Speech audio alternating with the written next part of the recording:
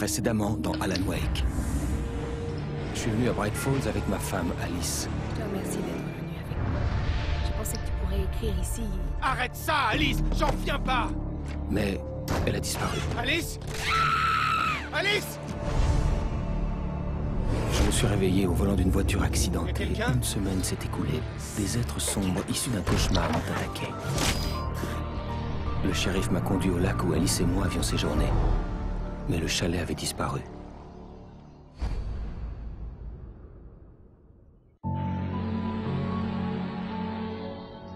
New York, trois ans plus tôt. Peut-être comprendre euh, ce qu'il s'agit.